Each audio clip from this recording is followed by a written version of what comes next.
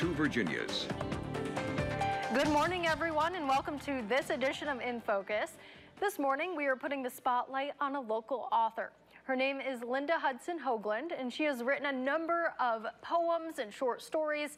She also lives in Tazewell, Virginia, and she's recently released her 34th and 35th publications. Her 34th work is called The Cup and Other Poems, and number 35 is What Was That and Other Short Stories. So Linda joins us now in the studio with more on her work.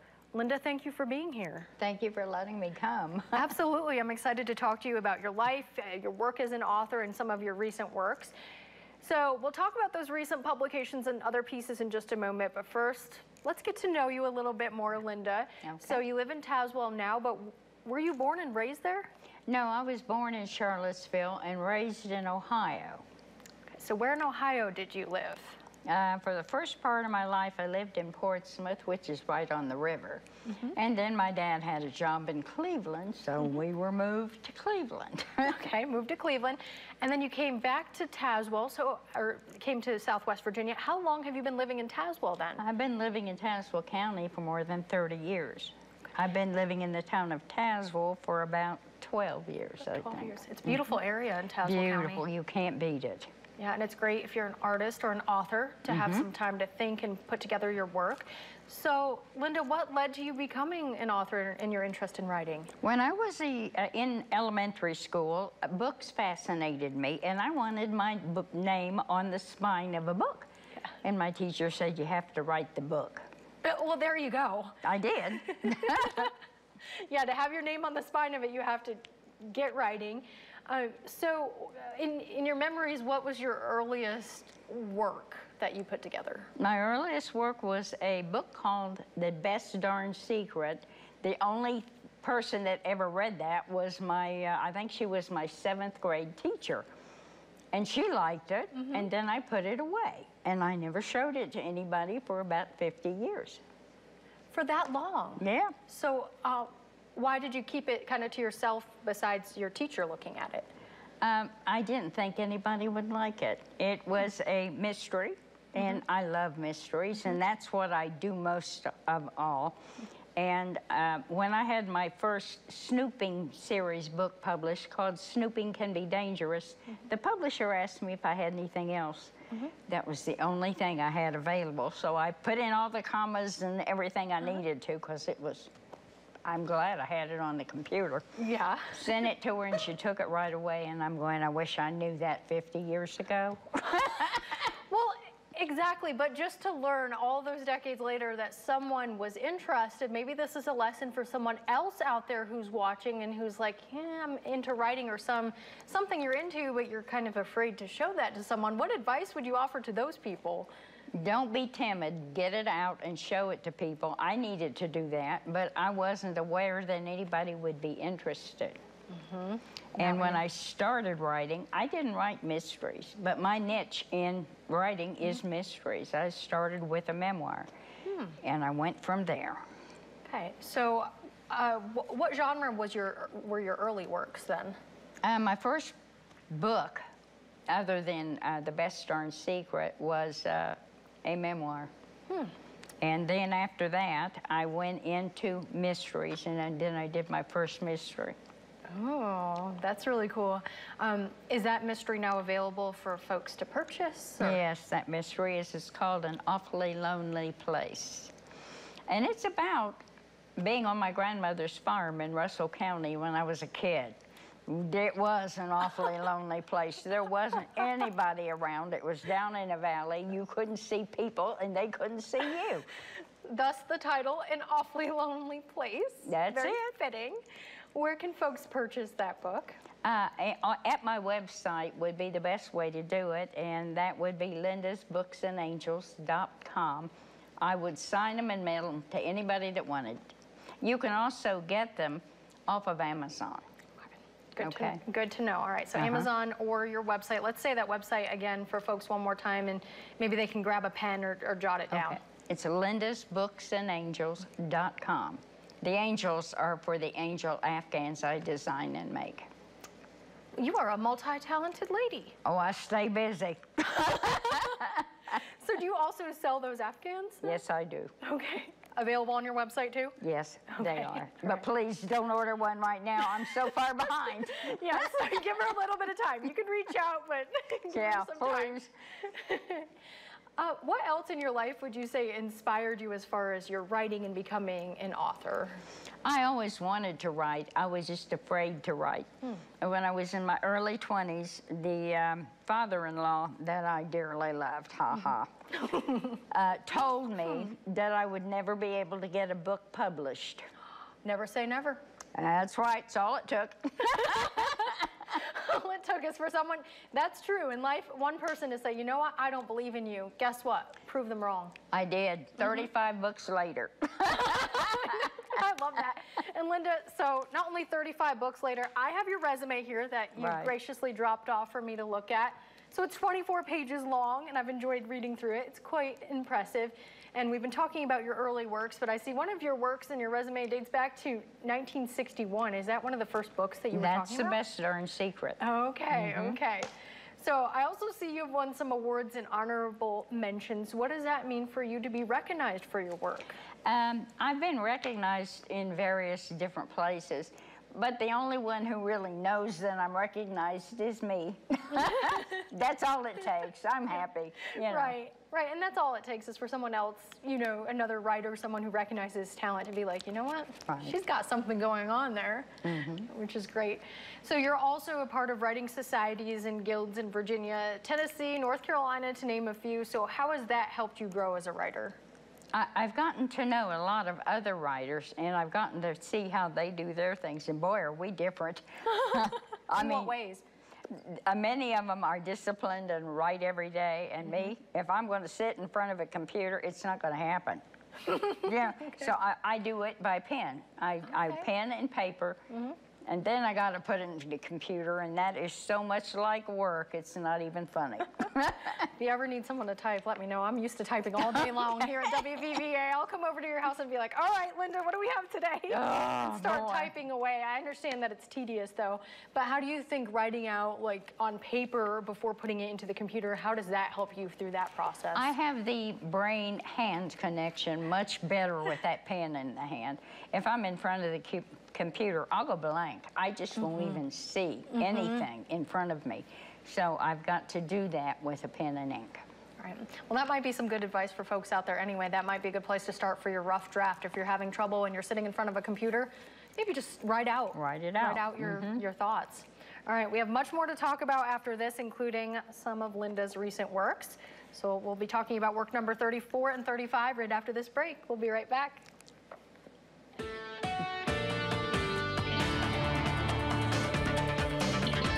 Morning once again, everyone. Welcome back to this edition of In Focus. This morning, we've been talking to author Linda Hudson Hoagland, who lives in Tazewell County. She has works number 34, 35 out right now. So we have The Cup and other poems that I have right here that Linda has let me borrow. And what was that and other short stories? So two books right here.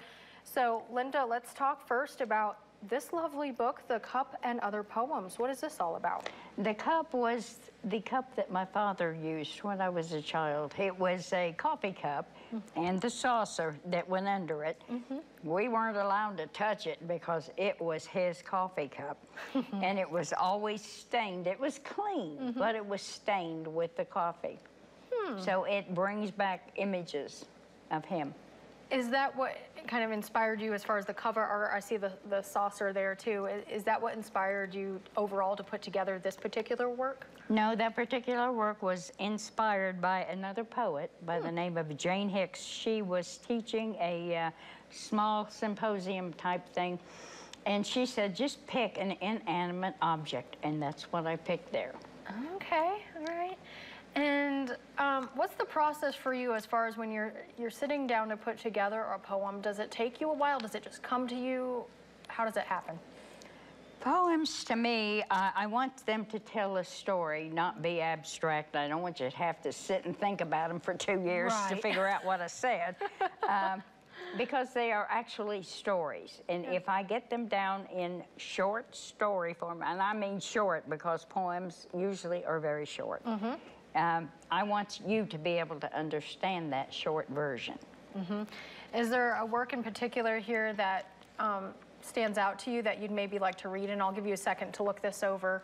But uh, I, I love that that. cover art too. I'm just struck by that and just the story behind it as far as the tea and the saucer and the story of your father. And it, okay, I have one called A Hole in My Heart. No one warned, warned me of the cavity, the big hole in my heart that would form following the death of my husband. The cavity grew and grew until I found something to fill it, and that was the love of my two adult sons. The hole will never disappear, but it is smaller, and I am grateful. Hmm. Based on your real life experience. Yes, I lost my husband about 13 years ago, and he appears in a lot of my writings, whether he wants to or not. He does. And how do you think that your work might help someone else out there? Maybe they've gone through a similar experience or otherwise. How do you think it might help them? Uh, the best thing you can do if you've got a problem that is real heavy on your heart is to write about it because you're releasing all of your feelings into that paper. I wrote a book about him and it's called Missing Sammy. I couldn't use his actual name. His family would have shot me. uh, so I put, I called it Missing Sammy, but it actually was Missing Sonny. Best thing I could have done. I was able to talk about him then at, without crying after I wrote that book. Wow. And before that, when you talked Yeah, about yeah. him, yeah, yeah, Yeah. But really, I mean, writing can be a form of catharsis and healing, as Linda said. So even if you don't consider yourself a writer, maybe journaling can help you. Yes. Any, any form of releasing that stress helps. Yes, yeah, it certainly does. And Linda, what demographic, age group, um, wh- who are you catering to with your work? Okay, I have a snooping group that is, uh, right now it consists of eight mysteries. And they're all cozy mysteries. They cater to the younger people in life. They, There's teenage daughters and a 10-year-old son, and I have experience with all of that. And it's about a uh, mother who is a legal secretary in a small town, so she knows more than she should mm-hmm. about people. So mm-hmm. when things don't seem right, she snoops, and her kids go with her. So it's a good, good group. Then the next group caters to the people my age. Mm-hmm. And uh, it starts with an awfully lonely place. The lady's about in her early 40s. By the time I get to book six, and you don't have to read these in order, I just aged her. She's 70, and she's always into trouble. Oh, yeah. Yeah, what kind of trouble always- does she get into? uh, she's trying to find out. Oh, she met a new guy in the new book. She met a new guy. Her husband had passed on. So she met a new guy, and he has baggage. And his baggage is an ex, and she's a dangerous shadow. And that's the name of the book. Ooh, okay. Well, we can't give too much of it away, but I already like the name of it. It's intriguing, A Dangerous Shadow. Yeah. now, is that also available on your website? yes, that's available Amazon or my website. All right, let's mention your website again in case folks missed that. lindasbooksandangels.com. Okay. And what advice would you offer? We touched on this a little bit, but authors or really anyone, Linda, looking to pursue their dreams. Your story just sticks with me as far as you know, people telling you no, or you're you're thinking, oh, I don't know if someone will really like this, and you kept your work to yourself for 50 years. Yes, I did. So, what advice would you offer to anyone out there who's just hesitant or not? They don't fully have that confidence yet. Um, if you don't have the confidence, you're never going to find out if anybody's going to like it if you don't put it out there. And I didn't, and I should have 50 years ago. Mm-hmm. But in the meantime, I had started writing other things, and they were accepted. So mm-hmm. why wouldn't they accept my first one? I because I never showed it to anybody. Er, right. Yeah. Right. And sometimes it's that simple. Just show it to someone, and you never know what the outcome is, but Right. miss all the shots you don't take in life. So, Linda, do you have do any book signings in the area or events? Where can people meet and greet you and learn more about you? Okay, I do any festival that's open and allows me to set up a table. and I do, in local or anywhere. Mm-hmm. I also do food cities. I rotate Yeah. among all of the food cities in Southwest Virginia, some in Tennessee. So if you want to see where I'm going to be, it is listed on my website. Okay. When you're set up at Food City, do you have a booth there where, where you can meet the customers coming through or? I'm usually right in the front where I see everybody coming Oh. and going, and and that's and I'm not outside. I can't be outside mm-hmm. because I have books, mm-hmm. but I'm in the front, uh, around the cash register somewhere, mm-hmm. and I have had more fun doing that. I have met really strange people, but I like them. Oh, I can imagine. Uh, what has the feedback been when you've met some people? Like, what do they say when you see when they see you there with your books? Uh, most of them want to know what connection I had to get into Food City, and I can't tell them. I promised someone a long time ago who helped me get into there that I wouldn't tell anybody. Keep your sources confidential, as we say in journalism. And then they want to know why I'm there selling books. And then I go, because I get to meet you. Right. And I bet they're like, well, this isn't something we see every day when we're shopping for groceries. That's right. Is to meet the author. Uh, let's also talk about your other new work here, Linda. So it's What Was That and Other Short Stories. So um, it's a collection of 22 short stories, award-winning stories. So what, what's all inside this book? What was that? The um main title of that book was about a teenager who was going to walk to her girlfriend's house to uh, to visit her, and we didn't have a telephone. We didn't have cell phones like you do mm-hmm. now. Mm-hmm. And I took, and it was me, and I mm-hmm. took off walking, and it was about 30 blocks away, so it was a long walk. About halfway there, I realized I was walking through a tornado. I didn't know it. I hadn't seen it on the news or anything. I realized it was a tornado when I saw the roof flying by me. Where was this? Cleveland. Oh, They have goodness. never had tornadoes like that, so I, I- it never occurred to me that would happen. I'm just like trying to grasp this right now. You were walking about 30 blocks, you realize there's a tornado, and then what? I was in it. a roof flew by me, and oh. th- debris was going, and I didn't know why all of this was flying around. Mm-hmm. But I really wasn't being buffeted by the wind, so I must have been in the eye. And I Whoa. kept going, and I knew I had to get to my girlfriend's house, or I was going to be in big trouble. And I just barely made it before all the wind started buffeting me. And what was going through your mind when you realized what was happening, though, and you were out in the open? And I had no clue what was happening, absolutely none. And I'm going, why is this happening to me? of all places for you to be, where there's not normally tornadoes in Cleveland, and you're walking outside and there's the tornado. yeah, and my mom and dad weren't home. They'd gone to Southern Ohio to check on the house that we had there. So I had no way of getting to and from other than to walk. Oh, wow. Mm-hmm. I can't even imagine being in your situation, but you allude to that here in the book. Right. Mm -hmm. Okay. And that was fun. I can't even imagine. Woo, I never want to be out in that situation. Uh, what other short stories do you have in here? And on the break, I'll give you a chance to look it over, maybe read us an excerpt. But what else is in here that may be of interest to our viewers? Um, I do a lot of, uh, I have a lot of fiction in there, but I also have about six or seven that were true. Uh, do I want to tell you which ones were true? Not really. let you, we'll let the viewers guess when they look at the yeah, book. you guess. Uh, if you know me, you might figure it out. If you don't know me, just think, gee, she's she's got a good mind. You're right. She, she's in, interesting at putting together these stories. Um, we do have to take another quick break, but that'll give Linda a chance to look over her book and see what she'd like to read. All right, we'll be right back. Welcome back to this edition of In Focus, everyone. We've been having a great time on set with author Linda Hudson Hoagland. So, Linda, you are now going to read us an excerpt from your book, What Was That? Right. I have one in here called 10 Years Too Late, and believe me, that one is true. I will tell you that. Okay. There were five of them, which was two more than I'd been expecting. In actuality, it was four more vehicles than I had been expecting. I could have easily handled two carloads, but as it turned out on that day, instead of five people stopping to visit my ailing husband and me, 25 people, including infants, entered my house and expected a warm welcome. They all appeared in my driveway and front yard parking everywhere they could fit their vehicles.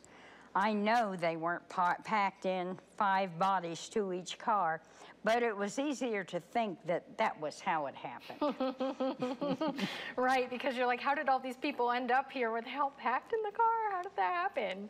that scared me to death when that happened because I had to feed 25 people and I didn't have the food or the money to do it, but I did. I cleaned out my freezer completely, feeding these people all weekend. When they left or got ready to leave, I made sure they knew they were never to come like that again. Wait, so why did they show up at your house again? They wanted to see my husband because he was sick Okay, but all of them came at, at once, the same time. unannounced. yes, That can throw someone off, completely. especially when you don't, you weren't prepared for the food and just having all those people in your house. Yeah, oh, it was awful. it was, and I'm going, gosh, were they all? I didn't know there were that many. What were you thinking as like more and more of them came in your house? They had told my husband there would be five of them, Uh, that's a big difference between five and 25. and what they didn't, what they neglected to tell him, there would be five carloads. ah, that's an important detail. Yeah, that's what I thought. I'm sure there's folks out there that can relate to some of your stories, though. I'm sure there's been times where, you know, people have showed up unannounced at someone's house and they're just thinking, why? Why did this happen to me?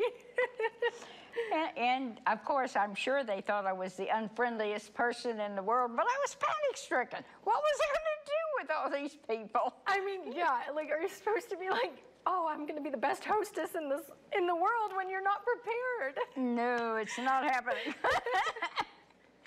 So, what also inspires you for some of your your works that are made up, like your mysteries and all that? Like, what inspires you to write those and to create your characters? life inspires me, really. And little events in life that you may not find important, I can really blow it up into something good. Ooh, like, give me an example. um, floating. When you're, I I have one in here called floating. Well, when you see people floating on water, Yeah. And there's no problem with that. They're having fun. Except in this one, the floater is dead. Oh, that's a problem. Yeah, big problem. so it's a good one. And, uh, and then I go to other things. Let me take a look here. Um, As the crow flies, that happened. I decided it was going to happen at Hungry Mother Park when you're driving along some of those mountainous roads and you're being followed by someone you can't lose. They're on your tail and you can't get rid of them, and you know there is going to be something bad happening, but you don't know what to do. So you need to read the story to find out what I did. Yeah, I do need to read that because that like sounds like a scenario no one wants to be in, but like you want to read about it to hear like what the outcome was. It keeps you captivated. Yeah, I recently had that happen to me going over to Hungry Mother this past year. There was a, car, a truck following me. And I couldn't lose him because you're on tight curves over mm-hmm. there. and You can't lose him. Mm-hmm. So I pulled into this uh, overlook, and I mm-hmm. pulled in there real quick, and he pulled in right beside me. And as soon as he got in there, I was gone again. I think he got the message. Oh, well, that's kind of scary though. That that's was. something for like everyone to be aware of. You just don't know. No, you don't know. And I, I was sure that he was wanting me to find out what he wanted. Uh-huh. And I didn't, uh-uh, wasn't going to happen. Oh, well, that's smart of you, Linda. Mm-hmm. See, and you probably writing your books and your life experiences taught you, nope, we're not waiting I to find out. We're going to get out of here. we're going to get out of here really quickly. Um, we have just a couple minutes left in the segment, but what other advice would you offer to those out there watching, or what, what are some concluding thoughts you have for our viewers this morning? Um, never be afraid of what you write. Uh, I know many people think that um, what they write isn't important, and it may may not be important to me, but it is to you. So you need to write it down, and eventually you need to work it into a story and make it worth reading. Right, because you never know the impact that might have on someone else. Right, you never know. And it helps people. And I've, my uh, couple of my books, I will tell them if they've lost somebody, I will hand them a book and I'm going to say, read that, it helps. And uh, my missing Sammy is one that I give to widows who have lost their husbands because it's important. They need to know somebody cares. Right, and that they're not alone in their hurt. Right. Mm-hmm. Yeah, that's really important. So again, Linda's books are available on Amazon, so they can go to Amazon and buy the books. And you have now 35, but more in the works. I have more in the works. I have a new snooping that I hope to have out very, very soon. It's called Snooping Can Be Unmerry. Hmm. Set, set around Christmas time, but it's not going to make it this Christmas. Nah, No, too soon. too soon, but we'll be on the lookout for that. And then also, Linda, before we go, let's give your website one more time. lindasbooksandangels.com. All right, well, Linda, thank you so much for joining us this morning and sharing more about your new works, your life as an author, and we've enjoyed having you here on set. I have thoroughly enjoyed this. It's great talking to you. You too. All right, that does it for this edition of In Focus. The show is about people just like Linda and events in the two Virginias. If you have an idea, you can send me an email, mzosh, M-Z-O-S-H at WVVA.com. We hope you have a great day.